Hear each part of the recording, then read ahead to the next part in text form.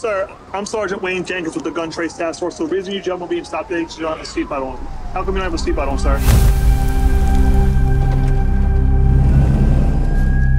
Please state your name and your assignment for the record. Detective Sergeant Wayne Jenkins. Sergeant, how long have you been with the Baltimore Police Department? Wayne Jenkins loved being a police officer, going after the bad guys. What's in the bag? He was very smart. He knew the law. He was seen as like a super cop. That guy gets the job done. was on TV at a frequent basis. Unbelievable bust in Baltimore City.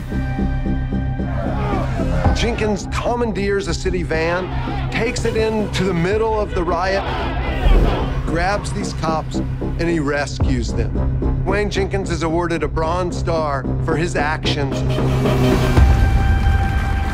What people didn't know, the supposed hero went out later and robbed the people looting the drugstores. I got promoted to sergeant, I believe, in 2010, and then I was placed in Gun Trace Task Force for Baltimore City.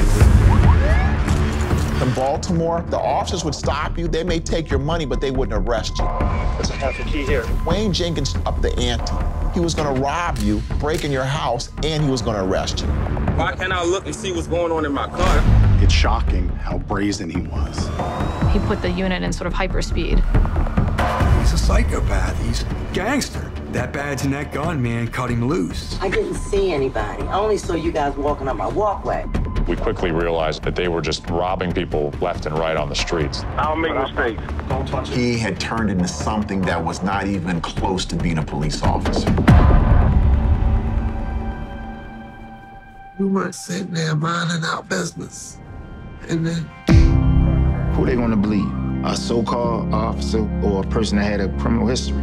I'm a dead man walking. The criminal justice system is built to believe the words of officers. Because if you don't, then that erodes our belief in what's right and what's wrong. They lied. That's what they do, man. These guys had the power to say whatever they wanted to say, and people are gonna believe it. Baltimore City Police Department, they didn't care. They just wiped their hands of everything.